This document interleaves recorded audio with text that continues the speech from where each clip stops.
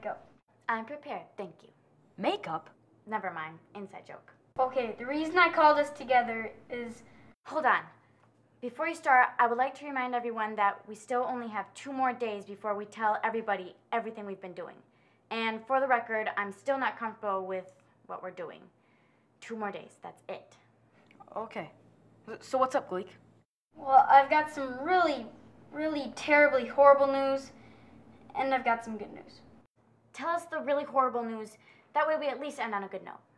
No, no, no. G- give us the really good news first so we have the courage to, like, face the bad news. Sorry, Daniel, bad news first, because it's urgent. Whatever. You know that graphic thing I've been deciphering? Well, I used some code from another program to help unlock the deciphering protocol, and it had some sort of tracer embedded in it. English, Gleek. P- please speak English.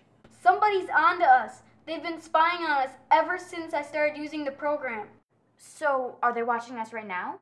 No, I made sure of that. But I don't know how much they found out before I discovered the tracer. You guys realize we could be in enormous trouble. A- and the good news? The good news, I finally deciphered the code. Okay, I I think I'm gonna need some, like, way better good news, you know, to, like, balance out the other news. The decipher code turned out to be a key that unlocked this entire maze of codes and clues.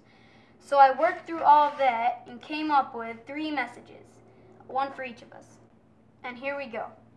Aubrey, 339A, Bucks Road. Furnace intake vent, hallway to kitchen. Gleek, 4603, Primula Place. Garage, false wall under tool bench. And this one's for you, Daniel.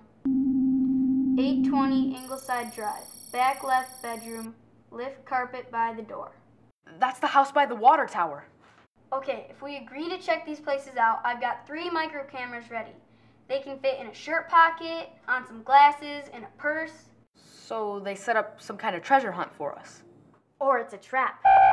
Okay, 30 seconds before we're on the grid. Look, I know you like to play it safe, Aubrey, but we only have two days to figure something out to show to the police. And so far, all we have are some weird notes and a DVD of a birthday party. And we haven't even found our messenger yet. He keeps on changing up his game on us. You said you'd give this a week, Two more days. so you're with us. Two days. Stand by.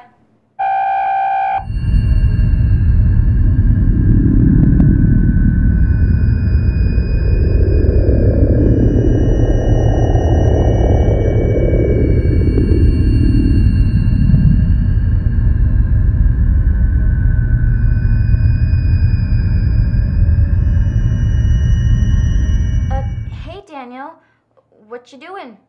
Not much, just hanging out. How about you, Gleek? What's going on? Um, nothing. Oh, I did get this virus on my computer that makes me look like I've been unlocking deciphering protocols. Gleek. Oh, um, which is crazy because I don't even know what a deciphering protocol is. I'm just a kid. Oh, uh, I think that's my mom calling. Better go.